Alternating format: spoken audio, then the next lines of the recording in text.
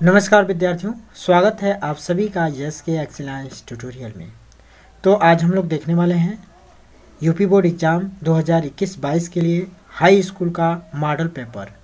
Model paper यानी कि यह मॉडल पेपर आप लोगों के यूपी बोर्ड के वेबसाइट पर से अपलोड किया गया है। यह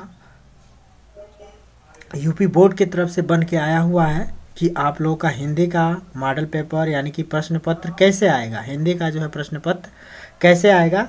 हिंदी का भी है हमारे पास और इंग्लिश का भी है, फिर साइंस का भी है, सामाजिक विज्ञान का भी है। तो एक एक करके सबका जो है वीडियो अपलोड होगा। तो आज हम लोग इस वीडियो में सिर्फ़ और सिर्फ़ हिंदी का ही मॉडल पेपर पढ़ेंगे और इसको देखेंगे। और इसके जो भी क्वेश्चन आप लोगों को जानकारी है और जो नहीं जानते हैं, आप लोग कमेंट में ढूंढ के ज़रूर बताइएगा, ताकि एक साथ जो है सबको बता दिया जाए। तो यहाँ पे हम देखते हैं क्वेश्चन नंबर एक में कह कह रहा है कि निम्नलिखित में से कोई एक कथन सही है, उसे पहचान कर लिखिए। इसमें से कोई एक कथन सही है, इसे पहचान कर बताना है। यदि आप लोगों में से कोई भी जानता होगा तो ज़रूर जो है इसे बताने का प्रयास कीजिएगा। देखिए, पहला है, सरस्वती पत्रिका की संपादक महादेवी वर्मा थी। बात सही है? सही है, सही वाले को बताना है, कौन सा सही है, कौन सा। ठीक है तो आप लोगों को बताना है। क्या भूलूं क्या याद करूँ? हरवंश राय बच्चन की आत्मकथा है। रामलीला शर्मा कवि के रूप में प्रसिद्ध है। महिला आंचल कहानी विधा की रचना है। क्या है, कैसे है? आप लोग कमेंट में ज़रूर बताइए। ख है, रस मीमांसा किसकी आलोचना कृति है? तो रस मीमांसा किसकी आलोचना कृति है? चार विकल्प दिया गया है। रामचंद्र शुक्ल का है, कि महादेव वर्मा का है, कि रागे का, राघव का है, केदारनाथ सिंह का किसका है, बताना है। इसके बाद से देखिए। निम्नलिखित में से किसी एक रचना की लेखक का नाम लिखिए। अथा सागर अर्धनारीश्वर, मेरी सफलताएँ, लहरों के राजहंस, इसमें से किसी एक का जो है लिख देना है। ठीक है? तो इसको जो है लिखने का आप लोग प्रयास कीजिएगा। ठीक है?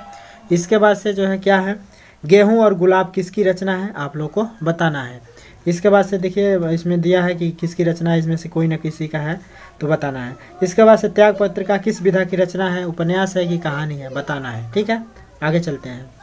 बस यहाँ देखिए, नाटक एकांकी। किस क्या है, बताइएगा। ठीक है? इसके बाद से प्रश्न संख्या दो में देखिए, क में क्या पूछेगा? तो रीति मुक्त धारा की किन दो कवियों का नाम लिखिए। यह जो भी आप लोग देख रहे हैं, ये हिंदी गद्य के इतिहास से पूछा गया है, और ये वाला जो है, प्रश्न संख्या दो, हिंदी पद के इतिहास से पूछा गया है। ख है, छायावादी की दो प्रवृत्तियों का उल्लेख कीजिए। ग है, उत्तरायण कृति के रचनाकार का नाम लिखिए। ठीक है? तो इसको जो है देख के आप लोग ज़रूर बताइएगा कौन सा किसका क्या होगा, ठीक है? ताकि एक साथ वीडियो एक इसका जो है कंप्लीट सॉल्यूशन बना दिया जाए। इसके बाद से देखिए, निम्नलिखित गद्दांशों में से किसी एक के नीचे दिए गए प्रश्नों के उत्तर दीजिए, ठीक है? तो इसमें जो है आपका गद्दांश दिया गया रहेगा और इन प्रश्नों का उत्तर देना रहेगा। उपयुक्त गद्यांश का संदर्भ लिखना रहेगा।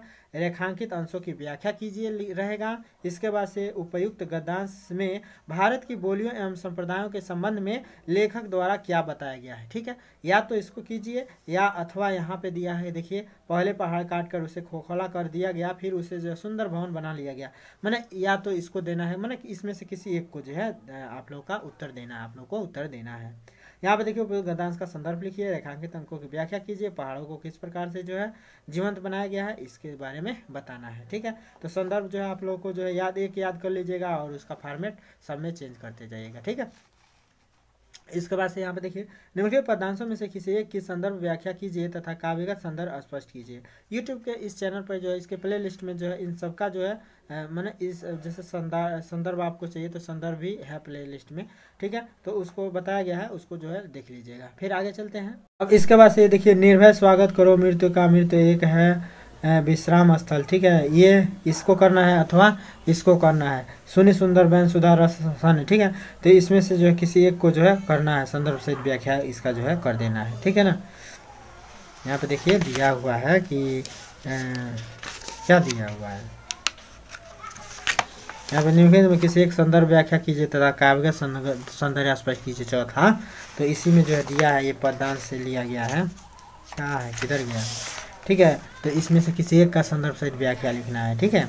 इसके बाद से पांचवा देखिए। क, निम्नलिखित में से किसी एक लेखक का जीवन परिचय देते हुए उनकी किसी एक रचना का उल्लेख कीजिए। अच्छा रामचंद्र शुक्ल का इसका जो है जीवन परिचय हम आप लोग को बता चुके हैं। यूट्यूब के प्ले लिस्ट में आप लोग देख सकते हैं। वीडियो के डिस्क्रिप्शन में भी मिल जाएगा।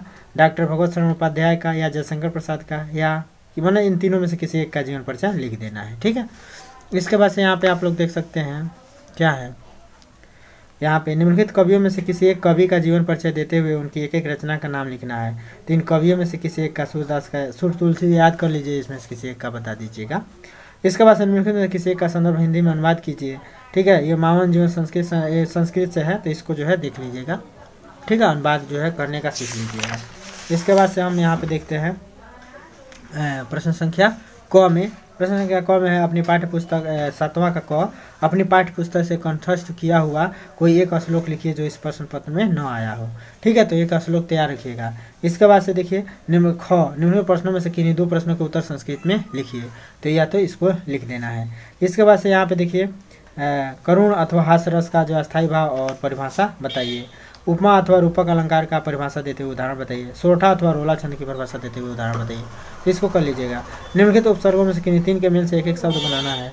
तो इसको जो है, उपसर्ग का मतलब पहले और प्रत्यय का मतलब बाद में। तो उपसर्ग जो है, पहले जोड़ के बनाया जाता है। जैसे अभिमान, नीरज उप उप उप जोड़ के बनाना है। तो उपनाम कर दीजिए, है? प्रति जोड़ के बनाना है तो ऐसे ही जोड़ के बना देना। निम्न की दो प्रत्ययों के जो प्रयोग से जो एक एक शब्द बनाइए। प्रत्ययों का मतलब बाद में, जैसे पढ़ना, है? ना लास्ट में आना चाहिए, ठीक है? इसी तरह निम्न में किन्हीं दो का जो है, समास विग्रह कीजिए तो समास विग्रह कर देना है, ठीक है? तो समास विग्रह देख लीजिएगा कैसे करते हैं, बाद में बताएँगे आप लोग को, ठीक है? आगे देखते हैं। इसके बाद से घ में देखिए। घ का और में किन्हीं दो शब्दों को तस्तम रूप में लिखिए। तत्सम रूप, शुद्ध रूप लिख देना है। निम्न में किन्हीं दो शब्दों को जो दो दो परिवाची लिखिए तो इसको जो है लिख देना है दो दो परिवाची ठीक है? मैंने किसी दो का, मैंने इसमें से कोई दो उठा के उसका प्रवाची लिख देना है। और क में निम्नलिखित शब्दों में किन्हीं दो का जो संधि विच्छेद कीजिए और संधि का नाम जो है बताइए। ठीक है? इसके बाद से जो है ख है निम्नलिखित शब्दों की चतुर्थ विभक्ति एवं द्वितीय विभक्ति को लिखिए। ठीक है? इसमें से इसको अथवा इसको इसको अथवा इसको। निम्न शब्दों में से किसी का धातु, लकार, रूप, पुरुष, वचन जो है, बताइए। तो इसमें से बता देना है। निम्न के दो वाक्यों का संस्कृत में अनुवाद कीजिए तो अनुवाद कर देना है। ठीक है? आगे बढ़ते हैं। अब यहाँ पे यहाँ पे दिया हुआ है, इन्हीं का अनुवाद करना है। ग्रामर क्वेश्चन देखिए निम्नलिखित विषय में से किसी एक विषय पर निबंध लिखिए। तो इस पर निबंध लिख देना है। उसके बाद से देखिए बढ़ावा अपने पठित खाद्य खंड के आधार पर निम्नलिखित प्रश्नों के उत्तर दीजिए। ये जो है, इसमें जो भी आप लोग पढ़ रहे होंगे, उसके जो है, आप लोग को करना रहेगा। अब इधर देख लीजिए, मातृभूमि के लिए खंड काव्य मतलब जो भी आप लोग पढ़ रहे होंगे, उस खंड खंड काव्य को जो है, करना है। दो क्वेश्चन इसमें दिया रहेगा, ठीक है? तो जो भी कर रहे होंगे, इसमें से किसी एक खंड काव्य को चुन लेके और इसको करना है। यदि आप लोगों को पीडीएफ लिंक चाहिए तो डिस्क्रिप्शन में इसका लिंक दिया हुआ है तो वहाँ से जो है, आप लोग पीडीएफ लिंक भी देख सकते हैं। तो फिर मिलते हैं अगले वीडियो के साथ, तब तक के लिए जय हिंद।